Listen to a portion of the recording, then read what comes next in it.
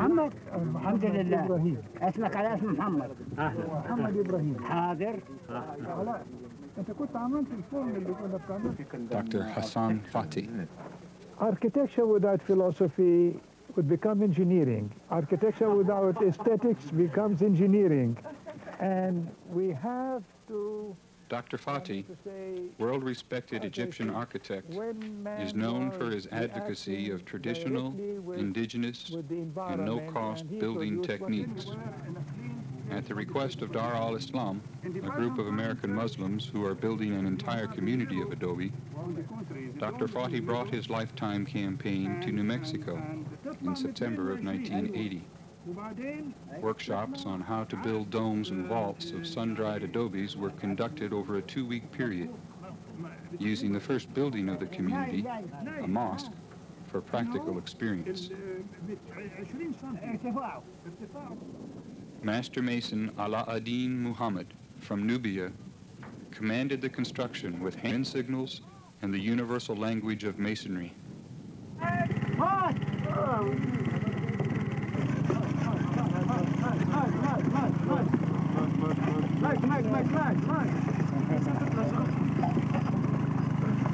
ماي ماي موت موت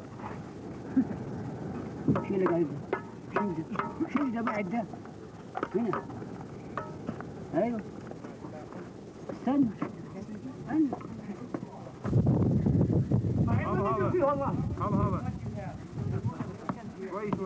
ما بتمشي معروفه من الزمان بس سيب على كده. سيب انا هذا موجود ما تجيبوش كده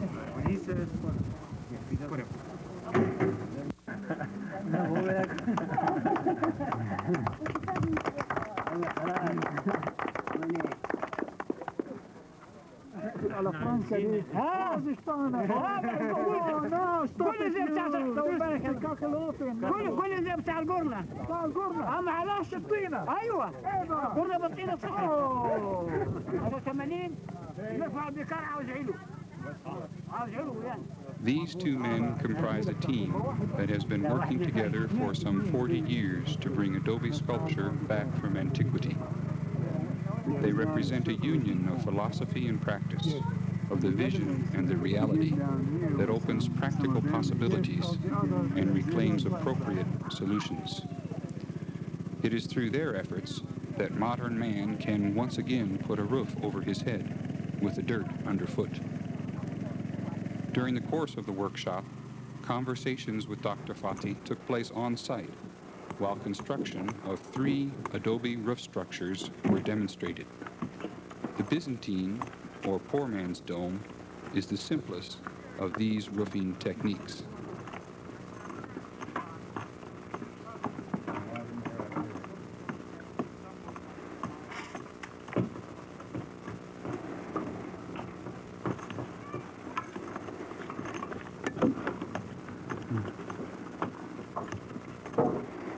from uh, home, not locally made. No, I made it in the morning. I don't trust Umar. The Sassanid dome, crafted here by Aladdin's assistant, is more complicated, has a greater span, and rises to make the distinctive dome of the mosque. How are they doing the bricks inside there? Uh, we're feeding now, but I,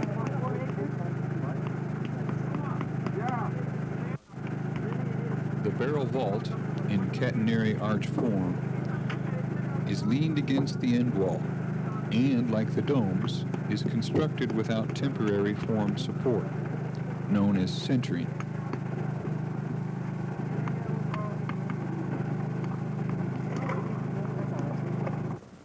say people in antiquity who found the, the catenary curve to build to solve the problem of the roofing when they didn't have timber and they had the, the, the roof give it the strength by the geometrical form it is now that we have had to, to, to study this and to learn about it anyway here we have if we build the courses like we are going to see right now on on on an inclined plane off the vertical against an end wall like this. Then, and they put the bricks end to end, you will see later that how they can manage to build the vault with no centering, right out in space, like modeling. And we can solve the problem. Two masons can put up cover, put the roof on a room three meters like this, by four meters in one day and a half, and you have your room already covered. If it were to be in concrete, it would need at least, um, I mean, 15 days for the concrete to set, to set down, and I don't know, um, it would be very complicated for the cost, for the materials, for this and that, and also for the time. But this is straight away, it is like modeling out in space. Mr. I have a question, or not question, really, just like, uh, it seems that what I understood from what you said, like you are against concrete. I am And not against. concrete here. No, no, no, no. Excuse me, my dear. I am not against anything. I am not exclusivist at all. But I am against using concrete in the wrong place. And when we are having millions, we have, as I said to you yesterday, we have 900 million of the inhabitants of the third world who are doomed to a premature death the, because of the bad conditions of housing. And this is explained by the fact, the other fact that the statistics made tell you that the, the, the annual income per capita in this part of the world varies between 25 and 30 pounds. How can this man use concrete? You have to have concrete for your, your, your, your, let say, garages, multi-story garages, for banks, for whatever you want, but not for the housing of the millions. So each material has to be used in its right place. If we were against concrete, I'm against the architects who are imposing concrete on the poor, the, the economically untouchables. I call them the economically untouchables. They cannot at all, I mean to say, afford to have the, the, the, the, the money for to build in concrete. And that's why Adobe, Adobe is given gratuitously by God to you. You handle it and you do it and finito.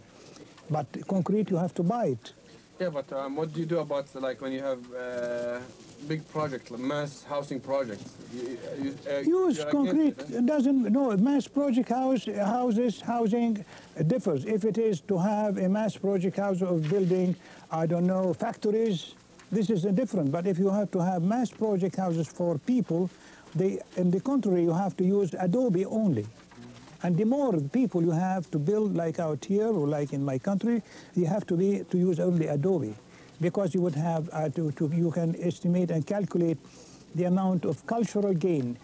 I say the village or the city is not the act, I mean not the stone and bricks and, and, and cement. It is the million acts that go into the publication of this, um, I mean to say, uh, this, um, I mean city or village, and the effect of these million acts on the basic nature of man. If they are ennobling or rather taking away from you, because when you dress a stone, what are you doing? You are removing the superfluous and keeping the essential. So you are spiritualizing the stone and spiritualizing yourself. If you take away from me the possibility to dress a stone, you are taking away from mankind the possibility to, to spiritualize themselves. You know the story I told you about the, the man passing by three people dressing stone. He asked the first, what are you doing? He said, I'm earning my living. And he asked the second, and he said, I am dressing a stone. And when he asked the third, he said, I am building a cathedral. Today we are not building cathedrals, not, we are new- not even dressing stone. We are pouring concrete and earning our living. So this is where I'm against concrete in this sense, but not for the usage in a bank or in a garage or in a whatever it is. So this, one should never be exclusivist. However, I would like, if I were to have a bank to, be, to make me to feel confidence, I would like it to be in stone and dressed stone. If it were a, a church, or, or, or I mean to say, I, I would, I would never like it to be in concrete, because, you know, my joke always, I say that God created Adam, man, out of clay, mud, and asked all the angels to prosternate, to bow down to Adam. They all did, except Satan. He, why? because he wanted God to create Adam out of reinforced concrete so as to have cement factories and sell, I don't know, steel, I don't know, and have contractors. And But if God would have created Adam out of concrete, Eve couldn't have come out of his rib because it would be too hard. And he would be alone now, crumbling down a piece, a lump of, of, of what do you call it, of uh, concrete falling down, you know.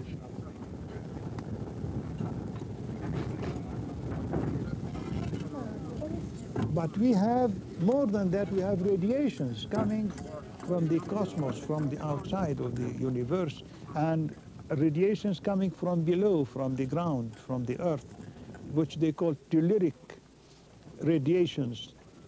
If you put cement and, and steel, it will stop this radiation from reaching you.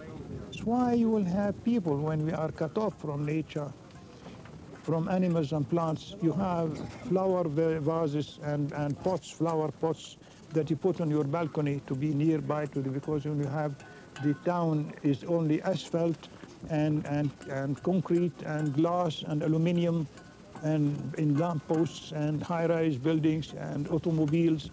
There is nothing living. So now needs, you cannot live in this atmosphere apart because why do we have pet animals, cats and dogs, it is because you, we, we, we are created to live with these beings. We are not created to live in, in, in cement and asphalt. This is dreadful. And uh, it is practical, I know, and whatever you want to say, but never, um, I mean, beautiful or rather sympathetic. In San Simeon, we have a monastery in, in Aswan, which this is four meters, more than four, four, four meters 20 or something like that. And they have put this, this to make sure, I'm very sorry because I have had all the calculations that were made by the professor of structures at the Cairo University. And he calculated the stresses here, everything has been calculated to make sure that what you are doing is correct. But Without the calculations, it works. But here we need the calculations. we cannot snub the, the, the structure engineer. There is a limit. As far as we are doing in our own limits, you know, for a small room, three meters. It would be, ah, sweetheart. She is amused by Alaeddin. Habbetak. Sweet. So you see, everything had a solution. And um, I say that nature itself, or herself, proposed adobe to man because after the, the, the harvest season, when man saw that the earth mixed with straw made big lumps which didn't crack, and then he made bricks. How could he find out? And how did he find out the vault too? It is fantastic. The primitive man, this we have this from the third dynasty. How did he find out this? Find it out. It was reeds bent, and that yeah. But how did they manage to think about building the thing with no centering? This is the fantastic, another fantastic thing. Could you elaborate on that again for uh, the the thing? In, did you just say Iraq? with the with the bent reeds, and you you did some sort of reinforcing and, and cement over that. No, not cement. It suggested it. Uh huh. It suggested the form. I see. But still, how man could find out the I mean the means of building the vault with no centering against this this inclined I mean the voussoirs like you are going to see. I think the rain has stopped. Yeah. And aren't they, aren't they going to start building or what? أما لا نبتدي البنى ولا لسه؟ ها؟ المطرة وقفت لا نبتدي ما هو وقفت يلا بس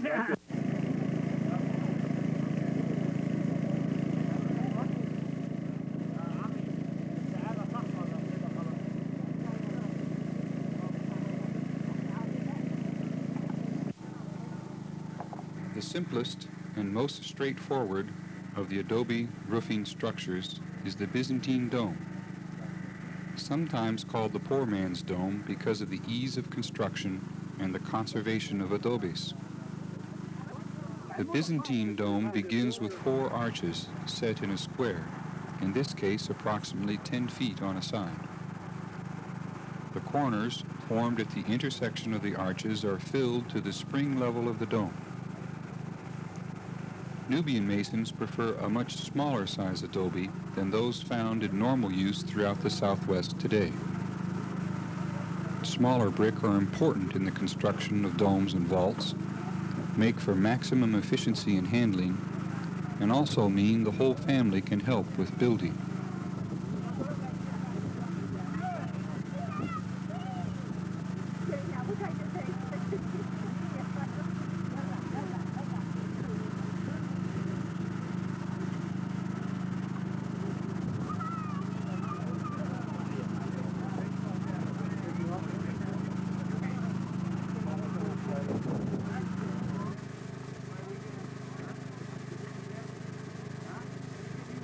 The pocket, formed at the intersection of the arches, is critical for the construction of what are called pendentives.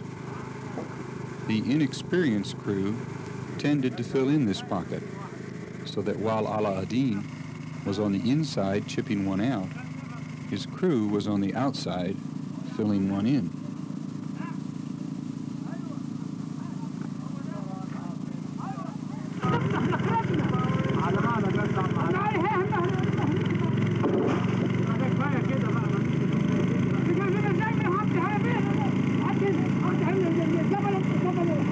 Byzantine dome is the, the, the sphere is the circumscribed circle. So the diameter of this is the half diagonal. But, and we put here stick. And this stick uh, would give us the guide. It would, we shall have now the guide would give me from the center the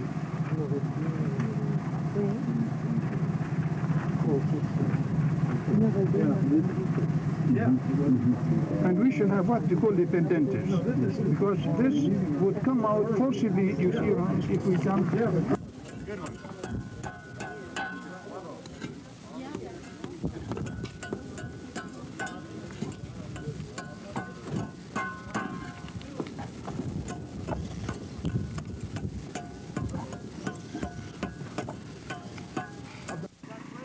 Soon as the tops of the arches are rounded into semicircles, you are ready to manufacture the guide stick. The length of the stick becomes the radius of the dome and is determined in the Byzantine dome by the radius of the circumscribed circle, which is the distance from the center of the room to the corner.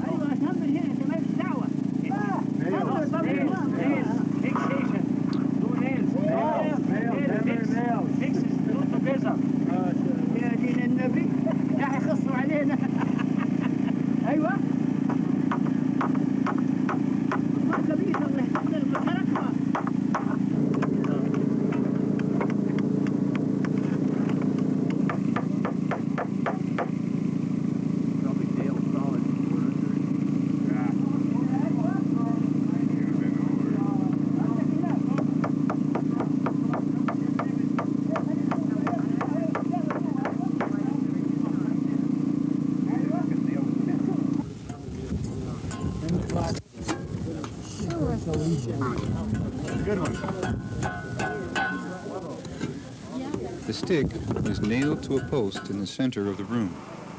When in place, the edges of the semicircle and the corners of the room should all be the same distance from the center.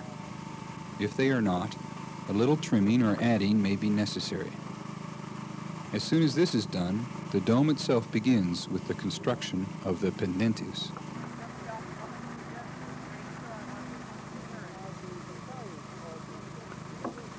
Are the, the size of the, the space that you have to surround yourself with has got so many factors.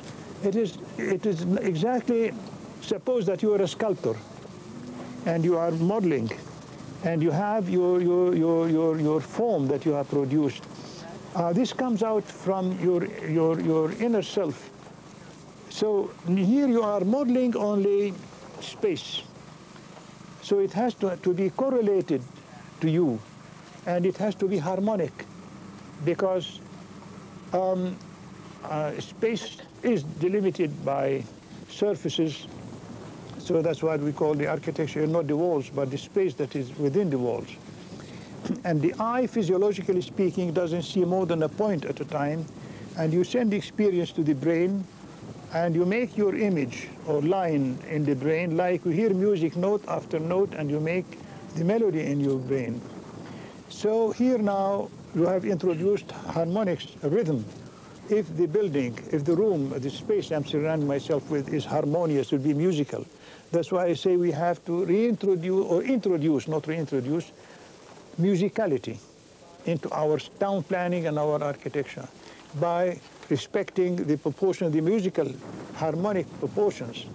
You have in the, the Église abbatiale, the abbatial church of the Thoronet in the south of France, is commanded all the dimensions by the musical uh, proportions, harmonics. And I have one of my uh, main students he has had his uh, doctorate, doctor degree from the uh, University of Tokyo on the dimensions um, of the Arab um, uh, house, the main room, the qa'a we call. And he found out that in all of these qa'as, um, the, the dimensions are in harmony with uh, phi and pi, the golden ratio or, or, or the, the pi.